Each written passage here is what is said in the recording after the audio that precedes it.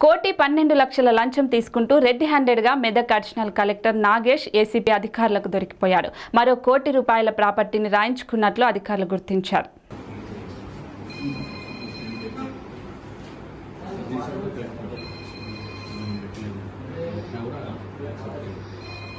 Yeah.